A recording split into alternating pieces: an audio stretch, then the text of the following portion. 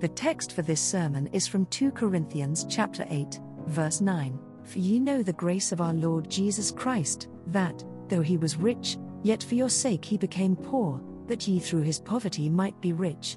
Welcome to Spurgeon's Sermons. If you find this sermon uplifting, be sure to subscribe to this channel. Every month, by God's grace, this YouTube channel shares the good news of Jesus Christ with tens of thousands of people all over the world. Your generous support today will enable us to continue producing daily content from the man known as the Prince of Preachers. Nearly 150 years after Charles Spurgeon preached these sermons, we are seeing God change lives through his preaching on this YouTube channel. So please, give your best gift today at princeofpreachers.com to help more people discover the transforming power of the gospel. The apostle, in this chapter, was endeavoring to stir up the Corinthians to liberality. He desired them to contribute something for those who were the poor of the flock, that he might be able to minister to their necessities. He tells them that the churches of Macedonia, though very much poorer than the church at Corinth, had done even beyond their means for the relief of the Lord's family, and he exhorts the Corinthians to do the same but suddenly recollecting that examples taken from inferior seldom have a powerful effect, he lays aside his argument drawn from the Church of Macedonia, and he holds before them a reason for liberality which the hardest heart can scarcely resist, if once that reason be applied by the Spirit. My brethren, said he, there is one above, by whom you hope you have been saved, one whom you call Master and Lord. Now, if you will but imitate him, you cannot be ungenerous or illiberal. For, my brethren, I tell you a thing which is an old thing with you and an undisputed truth, for ye know the grace of our Lord Jesus Christ, that, though he was rich, yet for your sakes he became poor, that ye through his poverty might be rich. Let this constrain you to benevolence. O Christian, whenever thou art inclined to an avaricious withholding from the church of God, think of thy Saviour giving up all that he had to serve thee, and canst thou then, when thou beholdest self denial so noble, Canst thou then be selfish, and regard thyself, when the claims of the poor of the flock are pressed upon thee? Remember Jesus, think thou seest him look thee in the face and say to thee, I gave myself for thee, and dost thou withhold thyself from me? For if thou dost so, thou knowest not my love in all its heights and depths and lengths and breadths. And now, dear friends, the argument of the apostle shall be our subject today. It divides itself in an extremely simple manner. We have first, the pristine condition of our Saviour, he was rich.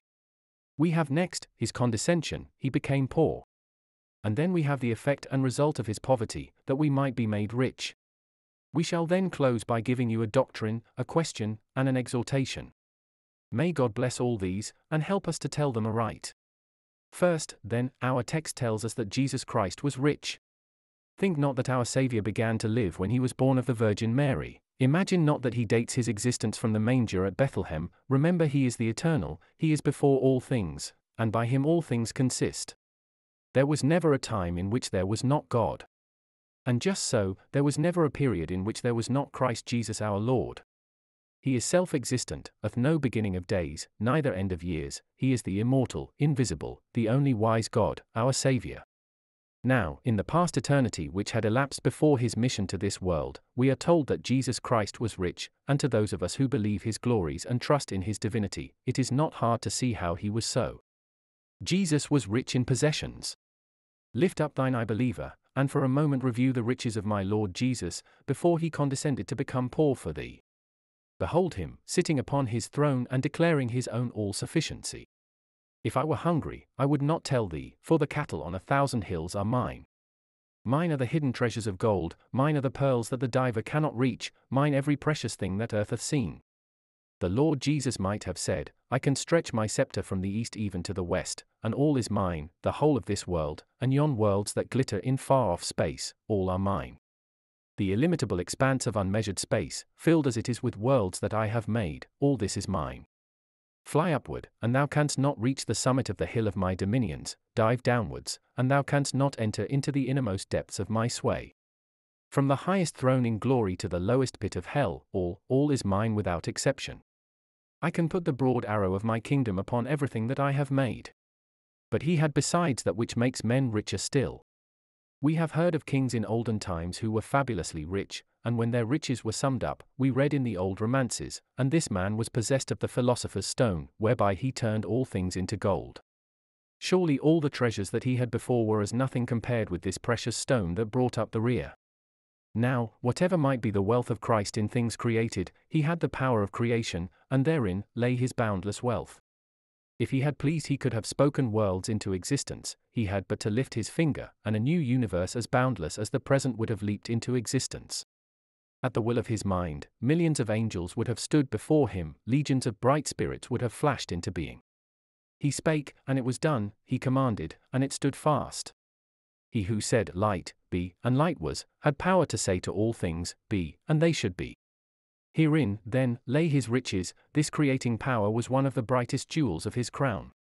We call men rich, too, who have honor, and though men have never so much wealth, yet if they be in disgrace and shame, they must not reckon themselves amongst the rich.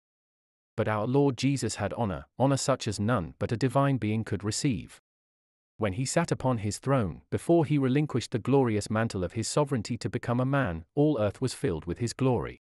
He could look both beneath and all around him, and the inscription, Glory be unto God, was written over all space, day and night the smoking incense of praise ascended before him from golden vials held by spirits who bowed in reverence, the harps of myriads of cherubim and seraphim continually thrilled with his praise, and the voices of all those mighty hosts were ever eloquent in adoration.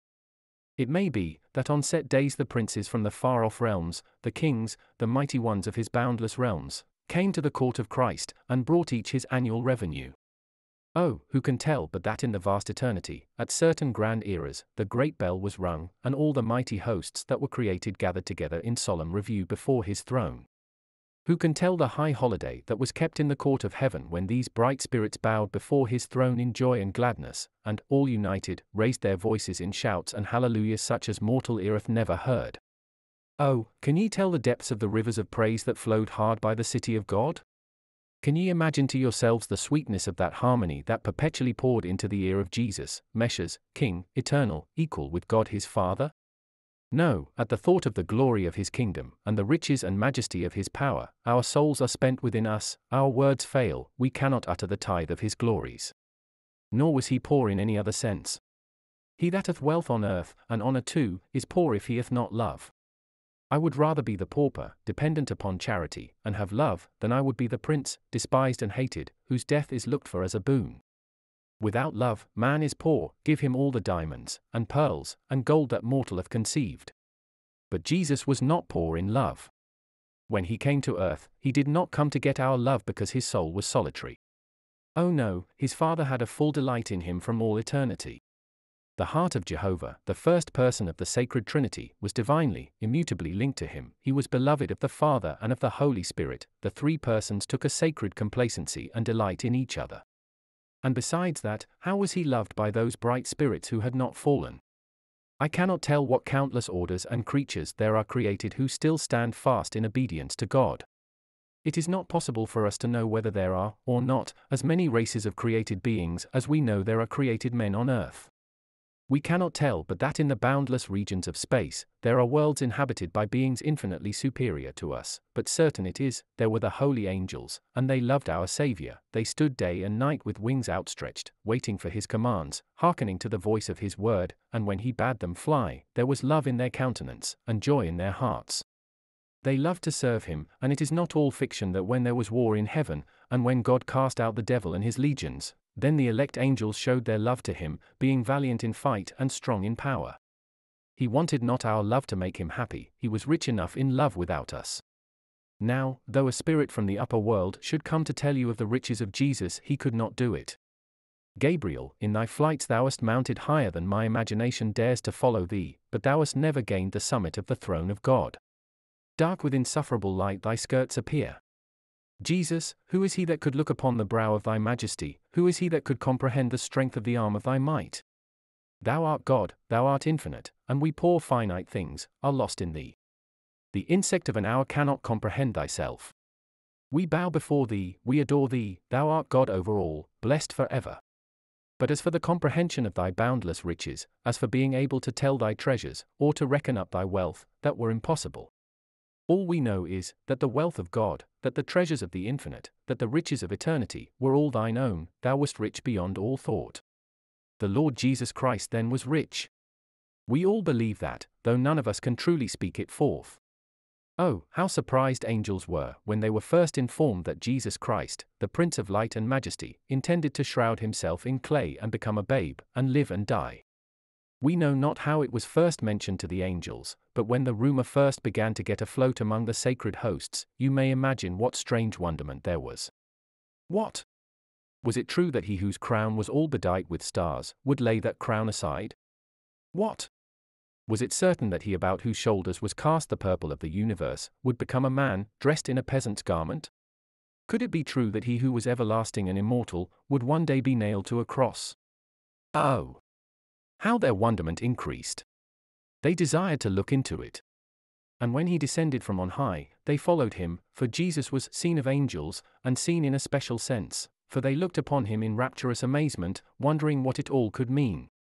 He for our sakes became poor, do you see him as on that day of heaven's eclipse he did ungird his majesty? Oh, can ye conceive the yet increasing wonder of the heavenly hosts when the deed was actually done, when they saw the tiara taken off, when they saw him unbind his girdle of stars, and cast away his sandals of gold? Can ye conceive it, when he said to them, I do not disdain the womb of the Virgin, I am going down to earth to become a man? Can ye picture them as they declared they would follow him? Yes, they followed him as near as he would permit them. And when they came to earth, they began to sing, Glory to God in the highest, on earth peace, goodwill towards men. Nor would they go away till they had made the shepherds wonder, until heaven had hung out new stars in honor of the newborn King. And now wonder, ye angels, the infinite has become an infant, he, upon whose shoulders the universe doth hang, hangs at his mother's breast, he who created all things, and bears up the pillars of creation, hath now become so weak, that he must be carried by a woman. And oh, wonder ye that knew him in his riches, whilst ye admire his poverty. Where sleeps the new-born king? Had he the best room in Caesar's palace? Hath a cradle of gold been prepared for him, and pillows of down, on which to rest his head?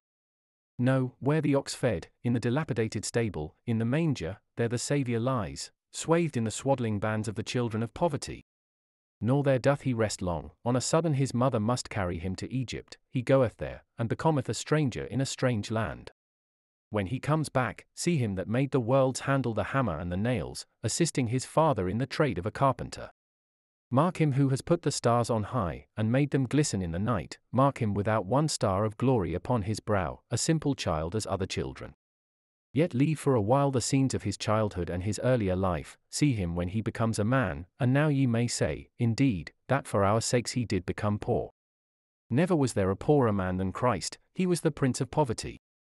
He was the reverse of Croesus, he might be on the top of the hill of riches, Christ stood in the lowest vale of poverty. Look at his dress, it is woven from the top throughout, the garment of the poor, as for his food, he oftentimes did hunger and always was dependent upon the charity of others for the relief of his wants. He who scattered the harvest o'er the broad acres of the world, had not sometimes wherewithal to stay the pangs of hunger. He who digged the springs of the ocean, sat upon a well and said to a Samaritan woman, Give me to drink. He rode in no chariot, he walked his weary way, footsore, o'er the flints of Galilee. He had not where to lay his head. He looked upon the fox as it hurried to its burrow, and the fowl as it went to its resting place, and he said, Foxes have holes, and the birds of the air have nests, but I, the Son of Man, have not where to lay my head. He who had once been waited on by angels, becomes the servant of servants, takes a towel, girds himself, and washes his disciples' feet. He who was once honored with the hallelujahs of ages, is now spit upon and despised he who was loved by his father, and had abundance of the wealth of affection, could say, He that eateth bread with me hath lifted up his heel against me. Oh, for words to picture the humiliation of Christ! What leagues of distance between him that sat upon the throne, and him that died upon the cross! Oh, who can tell the mighty chasm between yon heights of glory, and the cross of deepest woe?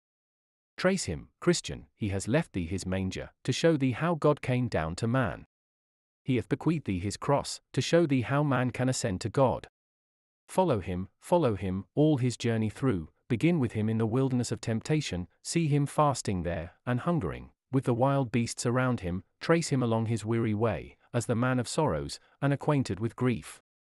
He is the byword of the drunkard, he is the song of the scorner, and he is hooted at by the malicious, see him as they point their finger at him, and call him drunken man and winebibber. Follow him along his Via Dolorosa, until at last you meet him among the olives of Gethsemane, see him sweating great drops of blood. Follow him to the pavement of Gabbatha, see him pouring out rivers of gore beneath the cruel whips of Roman soldiers. With weeping I follow him to the cross of Calvary, see him nailed there. Mark his poverty, so poor, that they have stripped him naked from head to foot, and exposed him to the face of the sun. So poor, that when he asked them for water they gave him vinegar to drink. So poor, that his unpillowed head is girt with thorns in death. O, Son of Man, I know not which to admire most, thine height of glory, or thy depths of misery. O, man, slain for us, shall we not exalt thee? God, over all, blessed for ever, shall we not give thee the loudest song? He was rich, yet for our sakes he became poor. If I had a tale to tell you this day of some king, who, out of love to some fair maiden, left his kingdom and became a peasant like herself, you would stand and wonder, and would listen to the charming tale, but when I tell of God concealing his dignity to become our Saviour, our hearts are scarcely touched. Ah! My friends, we know the tale so well, we have heard it so often, and, alas, some of us tell it so badly that we cannot expect that you would be as interested in it as the subject doth demand. But surely, as it is said of some great works of architecture, that though they be seen every morning, there is always something fresh to wonder at, so we might say of Christ, that though we saw him every day, we should always see fresh reason to love, and wonder, and adore. He was rich, yet for your sakes he became poor. I have thought that there is one peculiarity about the poverty of Christ, that ought not to be forgotten by us. Those who were nursed upon the lap of want feel less the woes of their condition. But I have met with others whose poverty I could pity. They were once rich, their very dress, which now hangs about them in tatters, tells you that they once stood foremost in the ranks of life. You meet them amongst the poorest of the poor, you pity them more than those who have been born and bred to poverty, because they have known something better. Amongst all those who are poor, I have always found the greatest amount of suffering in those who had seen better days. I can remember, even now, the look of some who have said to me when they have received assistance, and I have given it as delicately as I could, lest it should look like charity, Ah, sir, I have known better days. And the tear stood in the eye, and the heart was smitten at bitter recollections. The least slight to such a person, or even too unmasked a kindness, becomes like a knife cutting the heart. I have known better days, sounds like a knell over their joys. And verily our Lord Jesus might have said in all his sorrows, I have known better days than these. Methinks when he was tempted of the devil in the wilderness, it must have been hard in him to have restrained himself from dashing the devil into pieces. If I had been the Son of God, methinks, feeling as I do now, if that devil had tempted me, I should have dashed him into the nethermost hell in the twinkling of an eye. And then conceive the patience our Lord must have had, standing on the pinnacle of the temple, when the devil said, Fall down and worship me. He would not touch him, the vile deceiver, but let him do what he pleased. Oh! What might of misery and love there must have been in the Saviour's heart when he was spit upon by the men he had created, when the eyes he himself had filled with vision looked on him with scorn, and when the tongues, to which he himself had given utterance, hissed and blasphemed him. Oh, my friends, if the Saviour had felt as we do, and I doubt not he did feel in some measure as we do, only by great patience he curbed himself, methinks he might have swept them all away, and, as they said, he might have come down from the cross, and delivered himself, and destroyed them utterly. It was mighty patience that could bear to tread this world beneath his feet, and not to crush it, when it so ill treated its Redeemer. You marvel at the patience which restrained him, you marvel also at the poverty he must have felt, the poverty of spirit, when they rebuked him and he reviled them not again, when they scoffed him, and yet he said, Father, forgive them, for they know not what they do. He had seen brighter days, that made his misery more bitter, and his poverty more poor. Well, now we come to the third point why did the Saviour come to die and be poor? Hear this, ye sons of Adam, the scripture says, For your sakes he became poor, that ye through his poverty might be made rich. For your sakes. Now, when I address you as a great congregation, you will not feel the beauty of this expression, for your sake. Husband and wife, walking in the fear of God, let me take you by the hand and look you in the face, let me repeat those words, for your sakes he became poor. Young man, let a brother of thine own age look on thee and repeat these words, though he was rich, yet for your sake he became poor. Grey headed believer, let me look on you and say the same, for your sake he became poor. Brethren, take the word home, and see if it does not melt you, though he was rich, yet for my sake he became poor. Beg for the influences of the Spirit upon that truth, and it will make your heart devout and your spirit loving, I the chief of sinnerism, yet for my sake he died, come let me hear you speak, let us bring the sinner here, and let him soliloquize, I cursed him, I blasphemed, and yet for my sake he was made poor, I scoffed at his minister, I broke his Sabbath, yet for my sake was he made poor. What? Jesus, couldst thou die for one who was not worth thy having? Couldst thou shed thy blood for one who would have shed thy blood, if it had been in his power? What? Couldst thou die for one so worthless, so vile? Yes, yes, says Jesus, I shed that blood for thee. Now let the saint speak, I, he may say, have professed to love him, but how cold my love, how little have I served him. How far have I lived from him, I have not had sweet communion with him as I ought to have had. When have I been spending and spent in his service? And yet, my Lord, thou dost say, For thy sake I was made poor. Yes, saith Jesus, see me in my miseries, see me in my agonies, see me in my death, all these I suffered for thy sake. Wilt thou not love him who loved thee to this great excess, and became poor for thy sake? That, however, is not the point to which we wish to bring you, just now, the point is this the reason why Christ died was, that we through his poverty might be rich. He became poor from his riches, that our poverty might become rich out of his poverty. Brethren, we have now a joyful theme before us those who are partakers of the Saviour's blood are rich. All those for whom the Saviour died, having believed in his name and given themselves to him, are this day rich. And yet I have some of you here who cannot call a foot of land your own. You have nothing to call your own today, you know not how you will be supported through another week, you are poor, and yet, if you be a child of God, I do know that Christ's end is answered in you, you are rich. No, I did not mock you when I said you were rich, I did not taunt you, you are. You are really rich, you are rich in possessions, you have in your possession now things more costly than gems, more valuable than gold and silver. Silver and gold, have I none, thou mayest say, but if thou canst say afterwards, Christ is all, thou hast outspoken all that the man can say, who had piles of gold and silver. But, thou sayest, I have nothing. Man, thou hast all things. Knowest thou not what Paul said? He declares that things present and things to come, and this world, and life and death, all are yours and ye are Christ's, and Christ is God's. The great machinery of providence has no will which does not revolve for you. The great economy of grace with all its fullness is yours. Remember that adoption, justification, sanctification are all yours. Thou hast everything that heart can wish in spiritual things, and thou hast everything that is necessary for this life, for you know who hath said, Having food and raiment, let us therewith be content. You are rich, rich with true riches, and not with the riches of a dream. There are times when men by night do scrape gold and silver together, like shells upon the seashore, but when they wake in the morning they find themselves penniless. But, yours are everlasting treasures, yours are solid riches when the sun of Eternity shall have melted the rich man's gold away, yours shall endure. A rich man has a cistern full of riches, but a poor saint has got a fountain of mercy, and he is the richest who has a fountain. Now, if my neighbor be a rich man, he may have as much wealth as ever he pleases, it is only a cistern full, it will soon be exhausted, but a Christian has a fountain that ever flows, and let him draw, draw on forever, the fountain will still keep on flowing. However large may be the stagnant pool, if it be stagnant, it is but of little worth, but the flowing stream, though it seem to be but small, needs but time, and it will have produced an immense volume of precious water. Thou art never to have a great pool of riches, they are always to keep on flowing to thee, thy bread shall be given thee, and thy water shall be sure. As old William Huntington says, the Christian has a handbasket portion.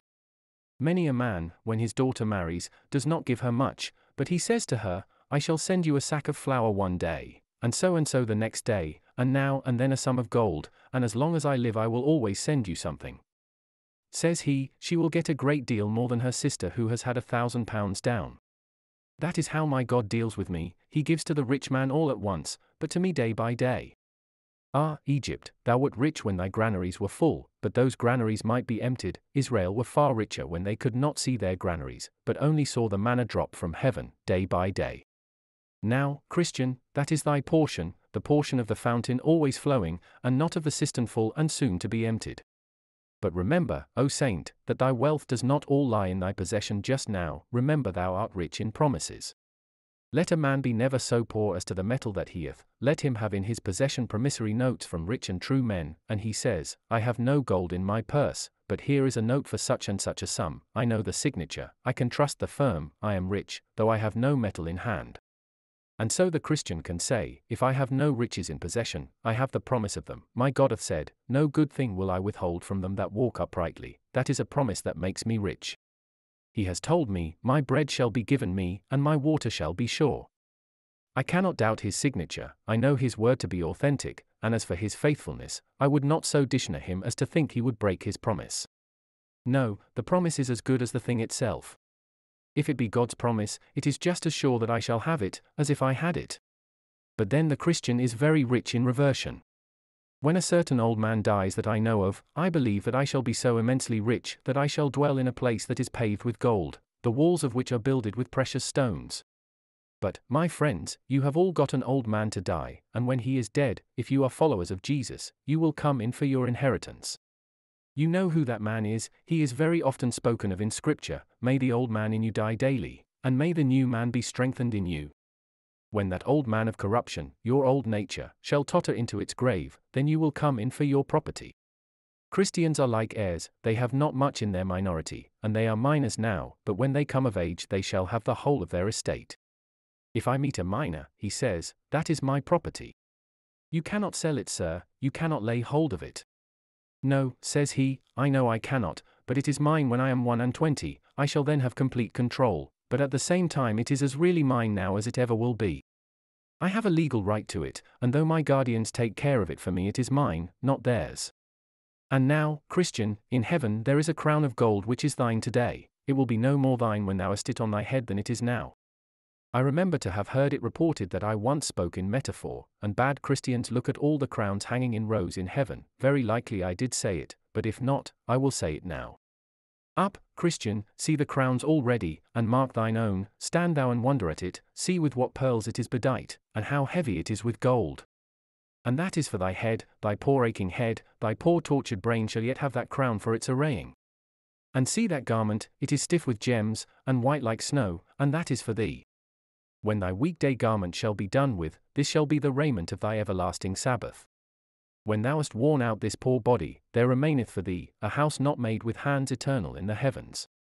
Up to the summit, Christian, and survey thine inheritance, and when thou hast surveyed it all, when thou hast seen thy present possessions, thy promised possessions, thine entailed possessions, then remember that all these were bought by the poverty of thy Saviour. Look thou upon all thou hast, and say, Christ bought them for me. Look thou on every promise, and see the blood stains on it, yea, look, too, on the harps and crowns of heaven, and read the bloody purchase. Remember, thou couldst never have been anything but a damned sinner unless Christ had bought thee.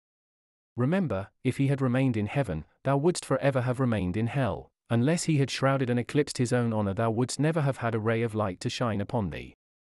Therefore, bless his dear name, extol him, trace every stream to the fountain, and bless him who is the source and the fountain of everything thou hast. Brethren, ye know the grace of our Lord Jesus Christ, that, though he was rich, yet for your sakes he became poor, that ye through his poverty might be rich. I have not done, I have three things now to say, and I shall say them as briefly as possible. The first is a doctrine, the doctrine is this if Christ in his poverty made us rich, what will he do now that he is glorified? If the man of sorrows saved my soul, will the man now exalted suffer it to perish? If the dying Saviour availed for our salvation, should not the living, interceding Saviour, abundantly secure it? He lived, he lives, and sits above, for ever interceding there. What shall divide us from his love, or what shall sink us in despair? If when the nail was in thine hand, O Jesus, thou didst rout all hell, canst thou be defeated now that thou hast grasped the sceptre? If, when the thorn crown was put about thy brow, thou didst prostrate the dragon, canst thou be overcome and conquered now that the acclamations of angels are ascending to thee? No, my brethren, we can trust the glorified Jesus, we can repose ourselves on his bosom. If he was so strong in poverty, what must he be in riches? The next thing was a question, that question was a simple one. My hearer, hast thou been made rich by Christ's poverty? Thou sayest, I am good enough without Christ, I want no Saviour. Ah, thou art like her of old who said, I am rich and increased in goods, and have need of nothing, whereas, saith the Lord, thou art naked and poor and miserable. O ye that live by good works, and think that ye shall go to heaven because you are as good as others, all the merits you can ever earn yourselves are good for nothing. All that human nature ever made turns to a blot and a curse. If those are your riches, you are no saints. But can you say this morning, My hearers, I am by nature without anything, and God has by the power of his Spirit taught me my nothingness? My brother, my sister, hast thou taken Christ to be thine all in all? Canst thou say this day, with an unfaltering tongue, My Lord, my God, I have nothing, but thou art my all? Come, I beseech thee, do not shirk the question. Thou art careless, heedless, answer it, then, in the negative. But when thou hast answered it, I beseech thee, beware of what thou hast said. Thou art sinful, thou feelest it. Come, I beseech thee, and lay hold on Jesus. Remember, Christ came to make those rich that have nothing of their own. My Saviour is a physician, if you can heal yourself, he will have nothing to do with you. Remember, my Saviour came to clothe the naked. He will clothe you if you have not a rag of your own, but unless you let him do it from head to foot, he will have nothing to do with you. Christ says he will never have a partner, he will do all or none. Come then, hast thou given up all to Christ? Hast thou no reliance and trust save in the cross of Jesus? Then thou hast answered the question well. Be happy, be joyous, if death should surprise thee the next hour, thou art secure. Go on thy way, and rejoice in the hope of the glory of God. And now I close with the third thing, which was an exhortation. Sinner, dost thou this morning feel thy poverty? Then look to Christ's poverty. O ye that are today troubled on account of sin, and there are many such here, God has not let you alone, He has been ploughing your heart with the sharp ploughshare of conviction. You are this day saying, What must I do to be saved? You would give all you have to have an interest in Jesus Christ. Your soul is this day sore broken and tormented. O sinner, if thou wouldst find salvation, thou must find it in the veins of Jesus. Now, wipe that tear from thine eye a moment, and look here. Dost thou see him high where the cross rears its terrible form? There he is. Dost see him? Mark his head.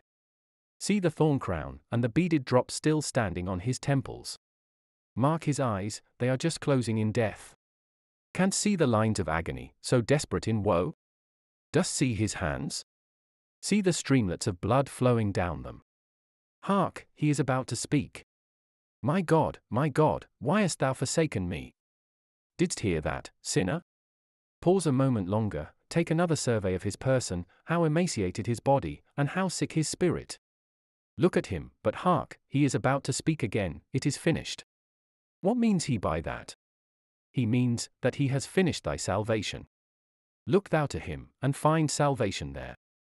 Remember, to be saved, all that God wants of a penitent is to look to Jesus. My life for this, if you will risk your all on Christ, you shall be saved. I will be Christ's bondsman today, to be bound for ever if he breaks his promise. He has said, Look unto me, and be ye saved, all the ends of the earth. It is not your hands that will save you, it must be your eyes. Look from those works whereby you hope to be saved. No longer strive to weave a garment that will not hide your sin, throw away that shuttle, it is only filled with cobwebs. What garment can you weave with that? Look thou to him, and thou art saved. Never sinner looked and was lost. Dost mark that eye there? One glance will save thee, one glimpse will set thee free. Dost thou say, I am a guilty sinner? Thy guilt is the reason why I bid thee look. Dost thou say, I cannot look? Oh, may God help thee to look now. Remember, Christ will not reject thee, thou mayest reject him. Remember now, there is the cup of mercy put to thy lip by the hand of Jesus. I know if thou feelest thy need, Satan may tempt thee not to drink, but he will not prevail, thou wilt put thy lip, feebly and faintly, perhaps, to it. But oh, do but sip it, and the first draught shall give thee bliss, and the deeper thou shalt drink, the more of heaven shalt thou know. Sinner, believe on Jesus Christ, hear the whole gospel preached to thee. It is written in God's word, He that believeth and is baptized shall be saved. Hear me translated, He that believeth and is immersed shall be saved. Believe thou, trust thyself on the Saviour, make a profession of thy faith in baptism, and then thou mayest rejoice in Jesus, that he hath saved thee. But remember not to make a profession till thou hast believed, remember, baptism is nothing until thou hast faith. Remember, it is a farce and a falsehood until thou hast first believed, and afterwards it is nothing but the profession of thy faith. Oh, believe that, cast thyself upon Christ, and thou art saved for ever. The Lord add his blessing, for the Saviour's sake. Amen. Thank you for listening to this sermon by Charles Spurgeon. This YouTube channel exists to help tens of thousands of people like you encounter God through Spurgeon's preaching every single month. You can help even more people discover the good news of Jesus Christ through Spurgeon's preaching by donating at princeofpreachers.com or by clicking the link in the description below. Subscribe to this channel to dive deeper into the treasury of Spurgeon's preaching, and hit the bell icon so you'll be notified whenever we post sermons and content written by Charles Spurgeon.